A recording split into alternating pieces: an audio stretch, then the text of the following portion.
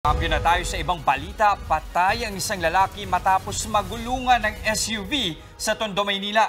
Ang driver ng nakabanggang sasakyan biglang tumakas nang dadalhin na sa ospital ang biktima. Nasa frontline ng balitang yan, si Ian Suyu.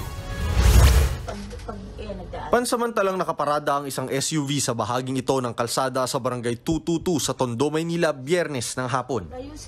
Ilang saglit pa dumating ang isang lalaki at umupo sa harap ng SUV na tila may inaayos sa dala niyang mga kahon. May sumakay namang isang babae sa SUV at umandar na ang sasakyan.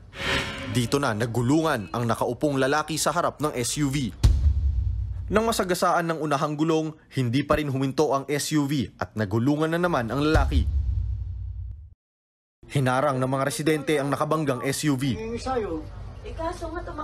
Agad namang isinakay sa tricycle ang nabanggang lalaki para isugod sa ospital. Magko-convoy sana ang tricycle at SUV papuntang ospital pero bigla umanong tumakas daw ang nakabanggang motorista. Pag andar ng tricycle, sumunod yung sasakyan. Pero ang sabi kasi sa kwento is susundan ng sasakyan. Pero pagdating po sa may kanto is hindi na po sumunod yung sasakyan.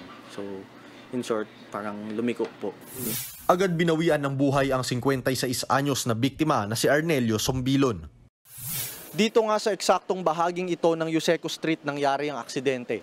Ayon sa mga residente, madalas daw talaga dito yung biktima dahil nga ang trabaho nito ay pangangalakal. At noong pagkakataon na yon, nung biyernes ng hapon, sinasalansan niya daw ang kanyang mga kinalakal bago siya tuluyang masagasaan. Nakaburol na ngayon ng biktima. Labis ang pagdadalamhati ng kanyang pamilya. Panawagan ng pamangkin ni Sombilon.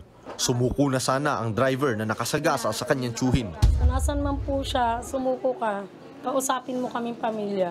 Makipagtulungan po siya kaysa naman po maging wanted pa siya.